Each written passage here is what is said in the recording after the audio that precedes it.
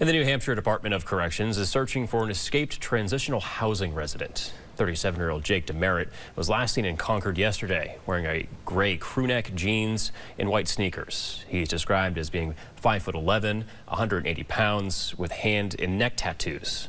DeMerit left the North End Transitional Housing Unit in Concord just before noon yesterday. He was placed on escape status at 2.30 this morning, an hour after he was scheduled to return to the unit.